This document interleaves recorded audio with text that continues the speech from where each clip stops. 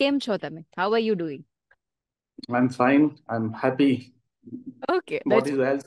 What else do you need? perfect, perfect. Maybe we all are seeking that. Uh, thank you so much. Thank you so so much, Harshal, uh, for coming here on Thank Jalso. you. Uh, okay, so for listeners, uh, તમને એ કહી દઉં કે જલસો એક series હાલ ચાલુ કરી છે concept સાથે અમે આવ્યા છીએ વિચ ઇઝ વર્થી વેકેશન જથી જલસો અને એમાં અમે બધા જ અલગ અલગ ઇન્ડસ્ટ્રીના એક્સપર્ટ્સને બોલાવીએ છીએ વાત કરવા માટે અલગ અલગ સ્કિલ્સની કે એવી સ્કિલ્સ કે જે કદાચ જેના વિશે તમે ઇન્ટરનેટ પર સર્ચ કરશો તો થોડા ઘણા આન્સર શ્યોર મળી જશે. પણ જ્યારે કોઈ એ વ્યક્તિ એ સ્કિલ વિશે વાત કરે કે જેમણે કદાચ એ સ્કિલમાં મહારત હાંસલ કરી છે, કદાચ એક આખો નવો પાથ રચ્યો છે, એક બહુ જ સક્સેસફુલ કરિયર બનાવ્યું છે, તો કદાચ એની ઇમ્પેક્ટ થોડી વધારે હોય છે, તેમને કદાચ થોડી ક્લેરિટી વધારે મળી શકે છે. And that is why we have Harshal Pushkaran Karna with us today. અને આજના ઇન્ટરવ્યુ એટલા માટે સ્પેશિયલ છે બીકોઝ આજના ઇન્ટરવ્યુમાં કોઈ એક સ્કિલ વિશે હું વાત નથી કરવાની because he is multi talented is doing lot of things Uh, he was an editor of one magazine and a travel blogs છે he's a writer he's a photographer and he's lot lot lot of stuff. જેમ જેમ interview આગળ વધશે. એમ એમ તમને હું કહેતી જઈશ એમના વિશે. But without a further ado આપણે ઇન્ટરવ્યુ સ્ટાર્ટ કરીએ. અને સૌથી મારો જે પહેલો પ્રશ્ન છે હર્ષલ તમારાથી એ એ પ્રશ્ન છે બિકોઝ આ કેમ્પેનનું નામ છે બર્થી વેકેશન એન્ડ જ્યોતિ જલ સો તમારે એવા કોઈ વેકેશનના મેમરીઝ છે કે જે વિચારીને તમને એમ થાય કે અ કાશ હું આ સમયમાં પાછો જઈ શકતો. આઈ થિંક આપણી જનરેશન અને આપણી અગાઉની જનરેશનની પણ એવી મેમરીઝ બહુ જ સારી હશે. અને અનફોર્ચ્યુનેટલી અત્યારની જે જનરેશન છે એની પાસે એટલી બધી સારી મેમરી આઈ થિંક નહીં હોઈ શકે. એનું કારણ છે કે હવે અત્યારની જે જનરેશન છે ને they've got number of resources to rather waste their time or maybe utilize that time અમારા સમયમાં કદાચ તમારા સમયમાં સારામાં સારી પ્રવૃત્તિ કોઈ જો થતી હતી તો એક તો આઉટડોર ગેમ્સ અને બીજું વાંચન. હું જે એરામાં હતો એ વખતે ટેલિવિઝન તો શું કેબલ ટેલિવિઝનનો જમાનો નહોતો જ આવેલો. અને રવિવારે એક વખત અમને ટીવી જોવા મળતું હતું. એટલે થતું એવું કે વેકેશન પડે ને એટલે we use to go to MJ library which is in Ahmedabad બહુ ફેમસ લાઇબ્રેરી છે. અને ત્યાંથી ટીનટીન ચાંદામામા ટિંકલ આ બધી કોમિક્સ લઈ આવતા હતા. અને એ એટલી બધી રસપૂર્વક અમે વાંચતા હતા કે કહેવાની વાત નહીં. જેમણે એસ્ટ્રિક્સ અને ટિન્ટિન જેમણે વાંચી હશે એમને ખ્યાલ હશે કે એટલી બધી ગ્રીપિંગ કોમિક બુક છે કે તમને હલવાનું મન ના થાય. હવે તમે જે સવાલ પૂછો ને એનો જવાબ હું એટલા માટે બહુ સ્પષ્ટતાપૂર્વક આપી શકીશ કારણ કે કેટલાક વખત પહેલા મેં એનો અનુભવ કર્યો. ઓકે. હું બાળપણમાં ટિન્ટિન અને એસ્ટ્રિક્સ પુષ્કળ વાંચતો હતો બીજા બધા પુસ્તકો પણ વાંચતો હતો. પણ એક વખત I think in two thousand three or four મારા સનને મને મન થયું કે હું એને કહું કે ટિન્ટિન એક વાત તું વાંચીને જો. અને એમણે એણે એમ કીધું કે મને એક વાત તમે બતાડો કે કેવી હોય. મેં મારા જૂના બધા રેકોર્ડ્સ કાઢ્યા અને એમાંથી એનજે લાઇબ્રેરીનું એક્સપાયર થઈ ગયેલું કાર્ડ મેં શોધી કાઢ્યું. અને પછી હું એનજે લાઇબ્રેરી ગયો. ત્યાં જઈને મેં મારું કાર્ડ રિન્યુ કર્યું. એમજે લાઇબ્રેરીમાં પુષ્કળ પુસ્તકોનો ચોઇસીસ છે વિકલ્પો છે. બટ હું સીધો બાળ કિશોર વિભાગમાં ગયો અને ત્યાંથી મેં ટિન્ટિનની ચાર કોમિક બુક લીધી ઇસ્યુ કરાવડાવી. અને ઘરે આવીને મને એ દ્રશ્ય બરાબર યાદ છે કે હું મારા રૂમમાં ઉપર હતો. અને એક પછી એક કોમિક વાંચવા બેસી ગયો અને નીચેથી જમવા માટે બૂમો પડ્યા કરતી હતી કે કેટલી વાર છે કેટલી વાર છે. અને મેં એમ કીધું કે જ્યાં સુધી આ કોમિક ફિનિશ નહીં કરું ત્યાં સુધી હું જમવા માટે નીચે નહીં આવું. So this is one of the memories of my vacation my childhood એટલે હું બહુ દ્રઢપણે માનું છું. હું આ લાઈનમાં છું પત્રકાર છું એટલે નથી કહેતો. પણ બાળકોના સર્વાંગી વિકાસ માટે થઈને કહું છું કે આજનું વાંચન તમને આવતીકાલે ક્યાંક લઈ જાય છે. તો વેકેશનનો સૌથી સારો ઉપયોગ સદુપયોગ જો કોઈ થઈ શકતો હોય તો મારી દ્રષ્ટિએ તો વાંચન છે. અને એ વાંચનમાં જ્યારે તમે વળી પાછા પરોવાઓ છો વર્ષો પછી જ્યારે તમારી તમે પાંત્રીસી વટાવી જાઓ છો ત્યારે એની મજા જ જુદી હોય છે. So I got this kind of memories of my vacation. It's it's so special અને મેં એક વસ્તુ નોટિસ કરી છે કે જેટલા પણ ગેસ્ટ આવે છે સ્પેશિયલી અને જ્યારે એમના ક્વેશ્ચન કરવામાં આવે છે એમનો ફેસ તરત લાઇટ અપ થઈ જાય છે. The go back to the childhood and it's it's it's a wonderful actually okay so મારો બીજો એક ક્વેશ્ચન છે જો આપણે સ્કિલ બેઝ વાત કરવા પર આવીએ તો અનધર ક્વેશ્ચન ઇઝ કે તમે વાત કરી કે તમે બાળપણમાં ખૂબ વાંચન કર્યું છે. જો તમારી બુક્સની વાત કરું so one of my friend જ્યારે એમને ખબર પડી કે હું તમારા સાથે વાત કરવાની છું આ ઇન્ટરવ્યુ માટે so he read this book Siachen તમારી જે બુક છે. એન્ડ વોઝ લાઈક તું એમના સાથે વાત કરવાની છે નો આઈડિયા ઉર્વી કે એમના લખાણથી હું કેટલો પર્સનલી મૂવ થયો છું. સો he was so so excited સો મારે એટલા માટે તમને આ સવાલ કરવો છે કે મેં પણ તમારું પર્સનલ તમારું લખાણ વાંચેલું છે અને I was quite quite impressed by it so લખાણ તમે કેવી રીતે ડિસ્કવર કર્યું હતું? તમે તમારામાં રાઇટિંગ સ્કિલ છે એ તમે ક્યારે ડિસ્કવર કર્યું હતું? સી અમુક સ્પાર્ક્સ એવા હોય છે કે જે તમને નાની ઉંમરે થાય.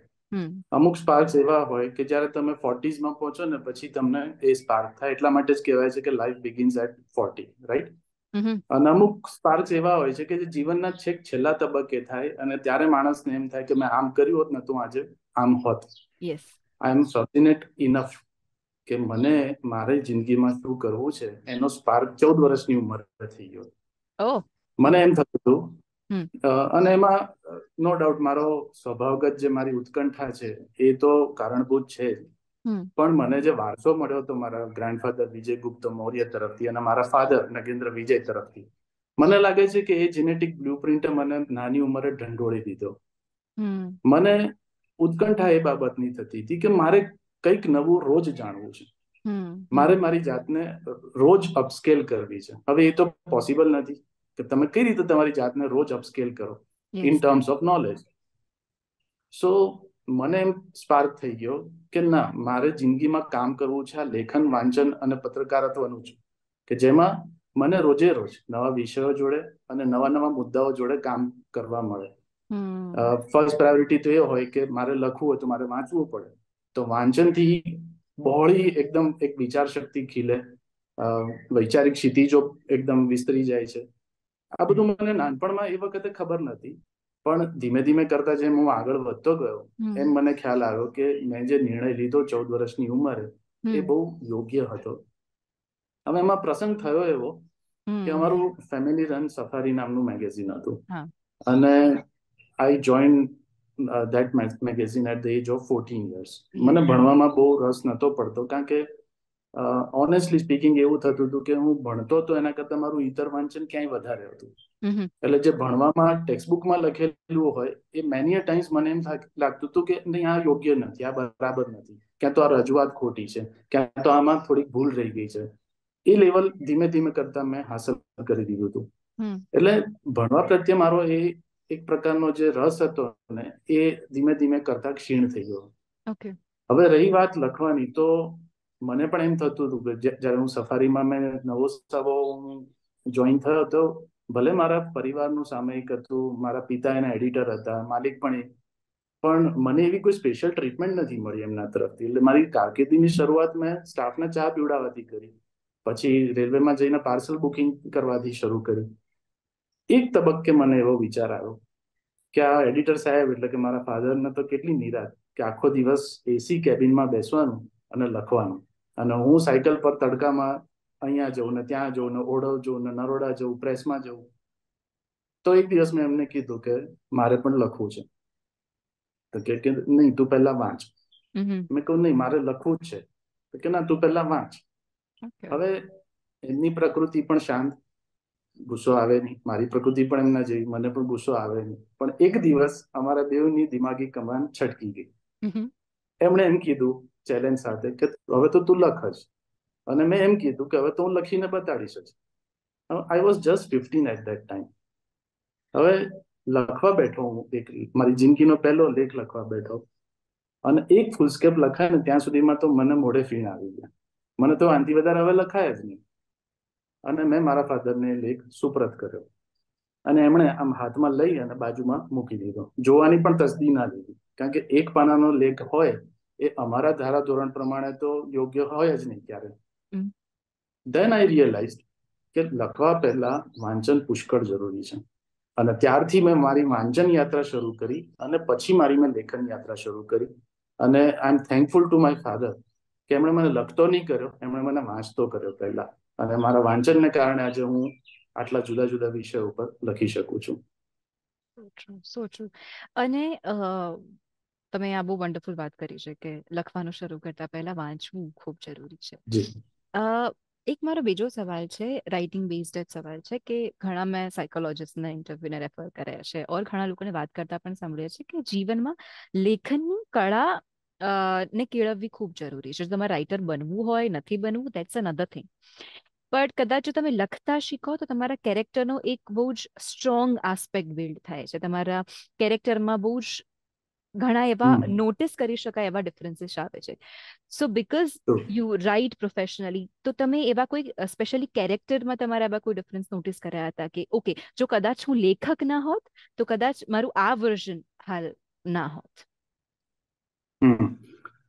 હવે લેખન માટે મારો અભિગમ સ્લાઇટ જુદો છે.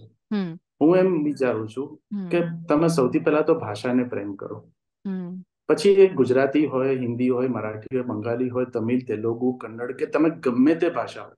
ફર્સ્ટ ઓફ ઓલ પહેલી પ્રાયોરિટી એ છે કે તમે એને પ્રેમ કરો. જો તમે કોઈ વ્યક્તિને સમજી ક્યાં રહી શકો? જ્યારે તમે એને પ્રેમ કરતા જ્યારે એની નજીક તમે જતા હો. હવે જેટલા તમે ભાષાને પ્રેમ કરો છો એટલા તમે જુદા જુદા શબ્દોથી એક્વેન્ટેડ થાવ છો. એનાથી તમે સન્મુખ થાવ છો. તમને એના શબ્દો ની વેરાયટીઝ મળે છે કે અહીંયા આ શબ્દને બદલે આ શબ્દ વધારે ઉચિત છે. તો એક્સપ્રેશન ક્યાંથી આવે છે?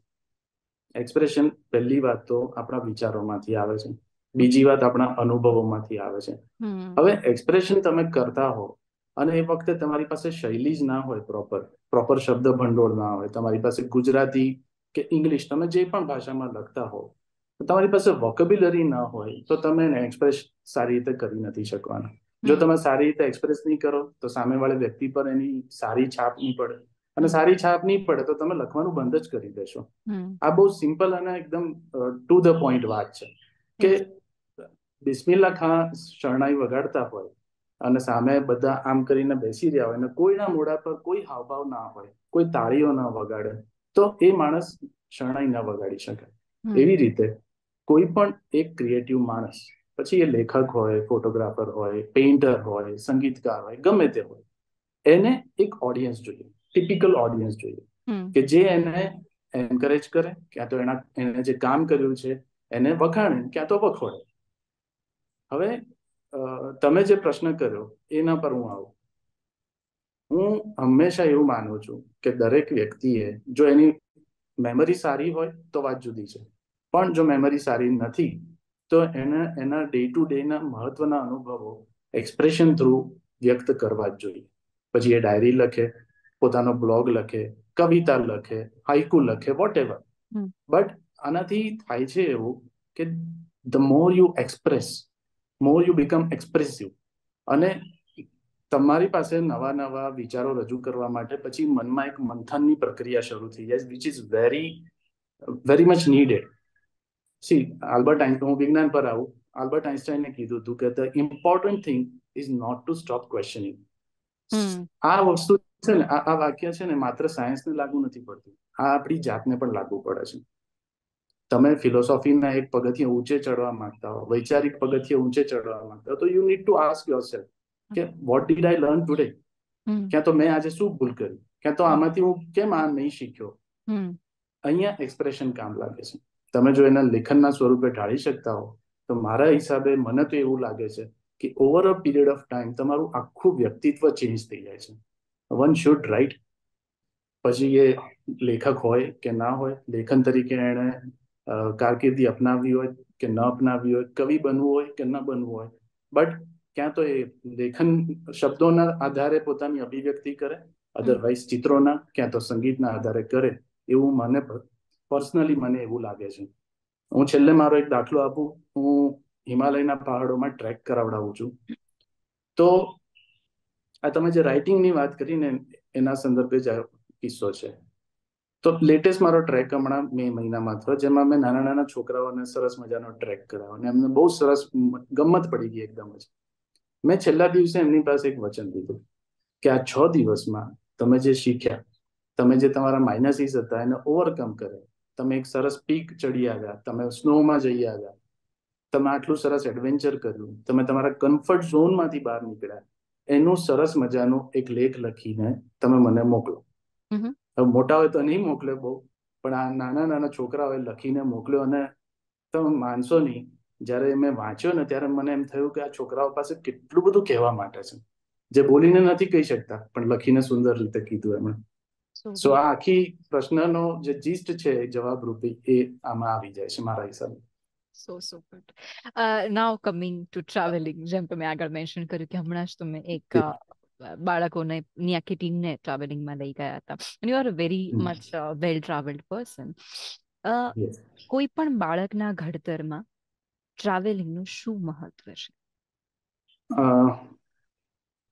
ઇફ યુ પરમિટ મી હું આ ક્વેશ્ચનને જુદી રીતે મૂકવા માંગીશ કે બાળકને મોટેરાથી માંડીને બાળક સુધીના દરેકના વ્યક્તિત્વમાં.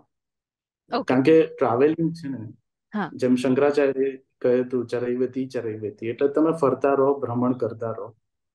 સો ટ્રાવેલિંગ મારે માટે આખી વ્યાખ્યા જુદી છે.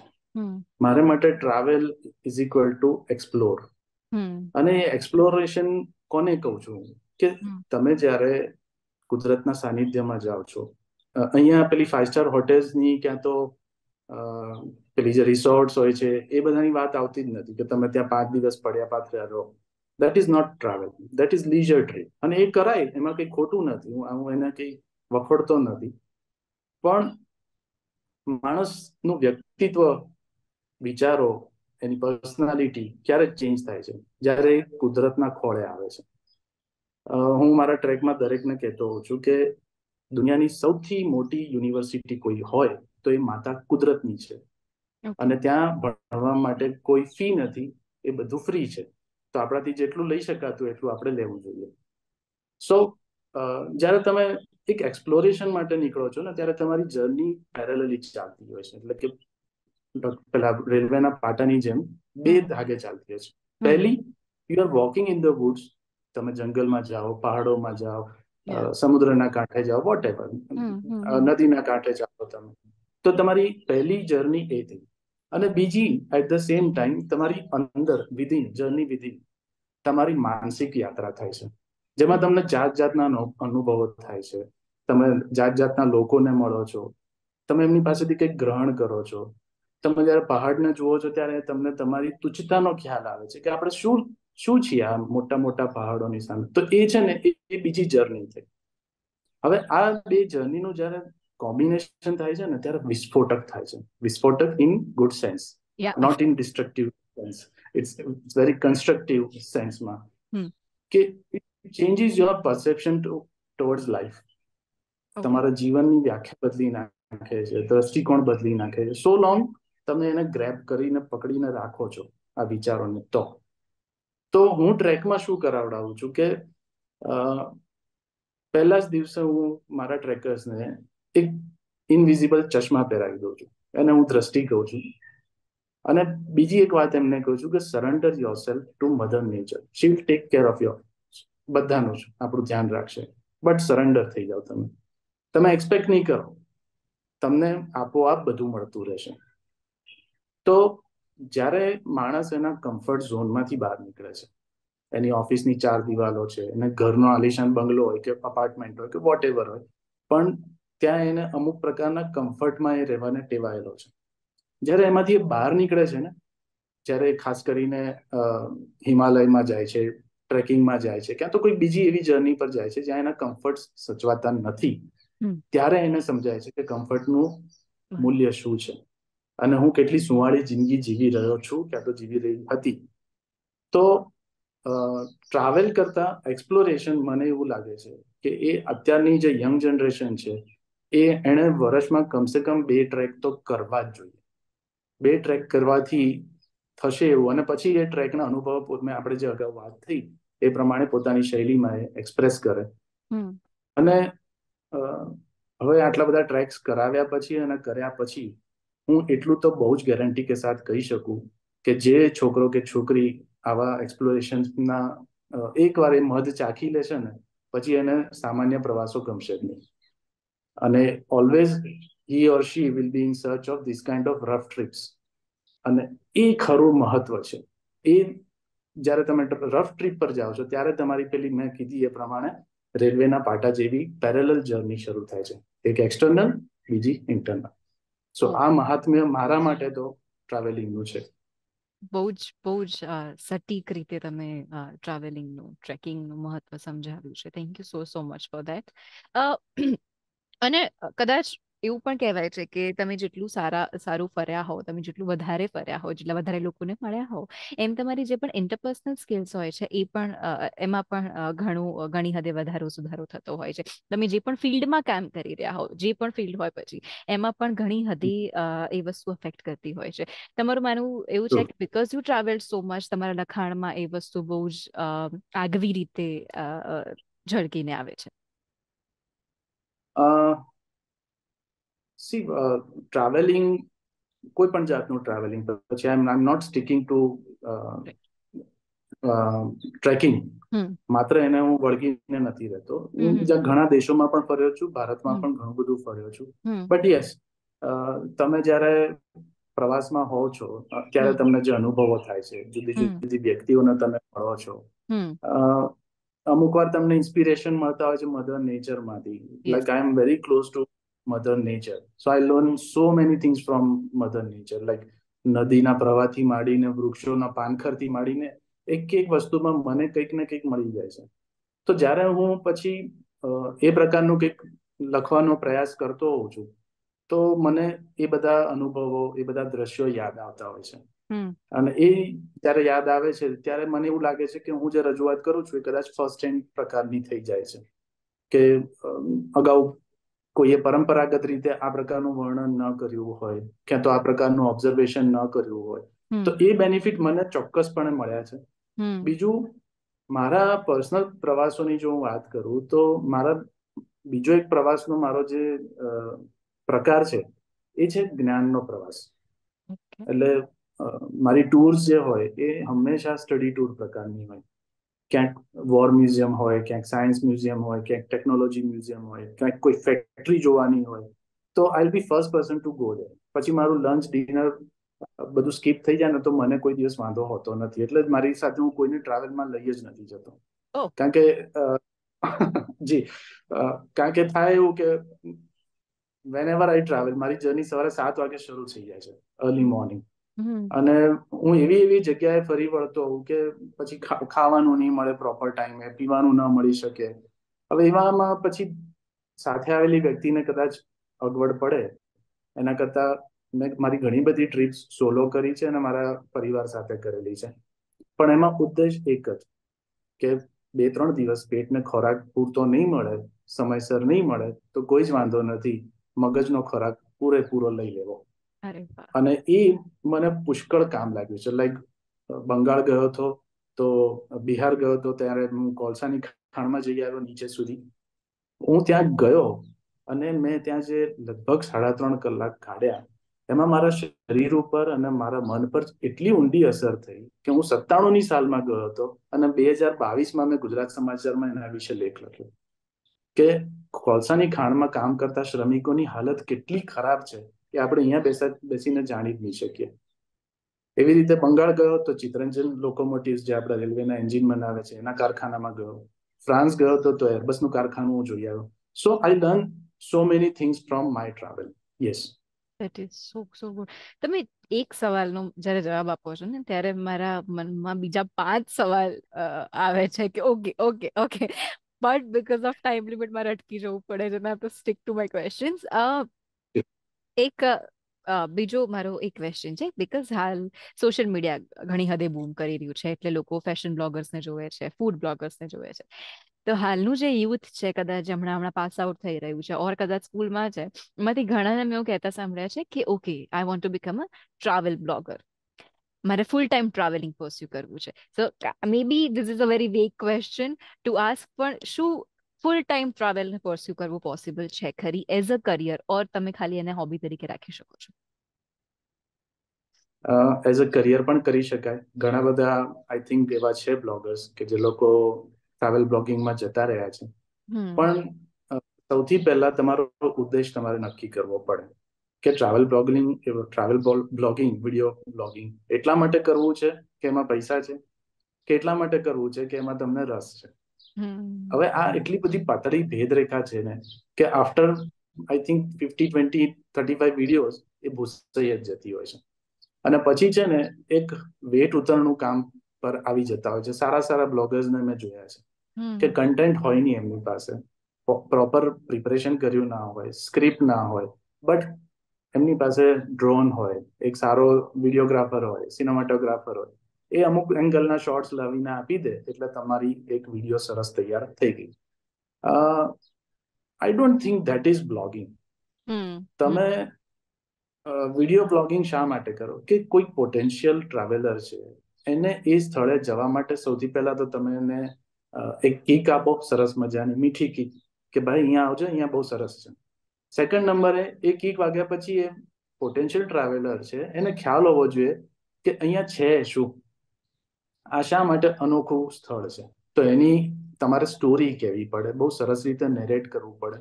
અને અગેન જેમ લખવા માટે વાંચન જરૂરી છે, એમ તમે કોઈ સ્થળનું વિવરણ કરવા માંગતા હો, તો એ સ્થળને તમારે પચાવી જવું પડે. એને વ્યવસ્થિત રીતે તમારે ઉતારી દેવું પડે. તમારે એના થઈને રહેવું પડે. હવે થાય છે શું કે ઘણા બધા બ્લોગર્સ કોઈ એક સ્થળે જાય. કોઈ એક પહાડી વિસ્તાર હોય, ક્યાં તો કોઈક દરિયા કિનારાનો વિસ્તાર હોય. They stay there for maybe 24 hours or hmm. 36 hours right? એમાં તો એનો આખો બ્લોગ બનાવીને આપી દે વીડિયો બ્લોગ બનાવીને આપી દે કે આવજો અહીંયા મજા છે મારા હિસાબે કોઈ પણ એક સ્થળને સમજવા માટે કમસે કમ તમારે બોતેર કલાક એને આપવા પડે.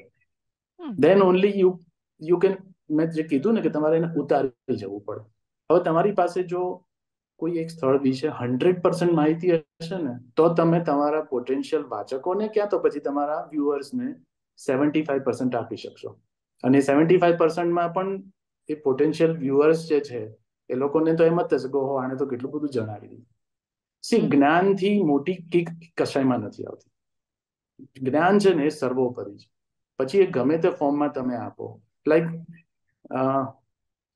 થોડોક ઓડ દાખલો થાય છે પણ સ્ટીલ હું તમને કહું છું કે જ્ઞાનનું મહાત્મા ક્યાં આવે છે? જીપ્સીમાં ફૂડ ગાઈડ નામનો વિભાગ આવે છે. જેમાં યુનિક ફૂડ રેસિપીઝ ખાવાના એકદમ અજાણ્યા અડ્ડાઓ અને અજાણી ડીશ વિશેની વાત હોય છે. હવે તમને ખ્યાલ છે કે ફૂડ બ્લોગર્સ બહુ થઈ ગયા છે બરાબર? તો હું જ્યારે જીપ્સી માટે ફૂડ ગાઈડનો વિભાગ લખું છું ને ત્યારે હું કઈ ગુણગાન નથી ગાતો કોઈ સ્થળના. હું એની એક ચોક્કસ પ્રકારની એની જે આઈડેન્ટિટી હોય એને આઈડેન્ટિફાઈ કરીને પછી લખું છું. એમાં મારા લખાણમાં સાયન્સ પણ આવી જાય છે. કારણ કે cooking also is a science A art પણ છે અને સાયન્સ પણ છે. એની હિસ્ટ્રી પણ આવી જાય છે. તો જ્યારે કોઈ વાંચીને ઊભું થાય ને ત્યારે એને એ સ્થળ વિશે એ ડિશ વિશે પ્રોપર નોલેજ મળી જાય કે ના અહીંયા તો જવું જ છે ક્યાં તો અહીંયા તો નથી જ જવું. તો રહી વાત આ યંગસ્ટર્સની તો એ લોકો જો આ લાઈનમાં આવતા હોય તો ખરેખર બહુ જ સારી છે. બટ અગેન વાત પેલો વિચાર સાથે આવવાની છે કે તમારે પૈસા જ કમાવા છે યુટ્યુબમાં વિડીયોઝ પોસ્ટ કરી કરીને કે પછી પૈસાની સાથે પ્રતિષ્ઠા પણ જોઈએ છે. કે તમારું બ્લોગ એક એવા લેવલે આવી જાય કે તમારા એક ચોક્કસ તમારો વર્ગ ઊભો થાય. અને વોટ યુ સે એ પથ્થર કી લકીર બની જાય એમને માટે. ધીસ ઇઝ વેરી ટફ આ હાંસલ કરવા માટે તમારે પુષ્કળ મહેનત કરવી પડે જો આ તૈયારી હોય અને એ દિશામાં આગળ વધતા હોય તો તો આઈ વિશ કે નવી જનરેશન આવે આ લાઈનમાં yes That is so, so true. Uh, unfortunately, મારામાં પેલું notification આવ્યું છે that your meeting will end soon. Uh, but I have lot, lots of questions. Um, એના માટે I guess આપણે ફરીથી એકવાર સેશન કરવું પડશે. We will talk about these things in detail.